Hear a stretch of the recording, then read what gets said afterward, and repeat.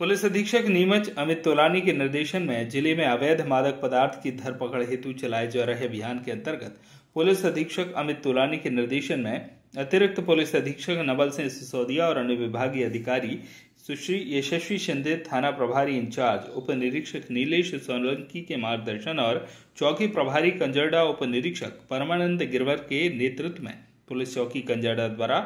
Car में बड़ी मात्रा में परिवहन किया जा रहा दो क्विंटल 24 किलोग्राम डोंडा चूरा जब्त कर एक तस्कर को गिरफ़्तार करने में सफलता हासिल की गई है।